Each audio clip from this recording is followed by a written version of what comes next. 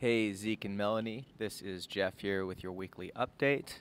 Um, just a couple things I wanted to run by you. One of the main things on our plate this week was um, we've been optimizing keywords in the ads uh, to get more traffic to the listing. Um, one exciting thing is we got 35 reviewers to uh, to complete the task of reviewing, and we sent out a message to an additional 14 uh, to follow up with them. Uh, there are two unshipped orders of the protein and energy bar um, at the moment.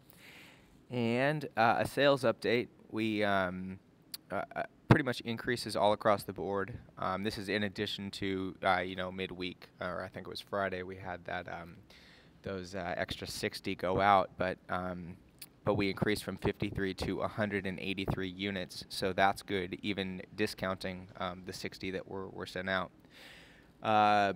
The gluten-free protein bars increased by 61%, um, 5 to 13 units, and uh, we had an increase, um, an extra sale in resistance bands. So that is everything going on this week. Um, I'm glad that we got those extra reviews, and uh, and that will continue to generate traffic. And I'm glad we were able to preserve the health of the account. So um, so all in all, everything's looking pretty good. Uh, give me a shout if you guys need anything, and we'll talk soon.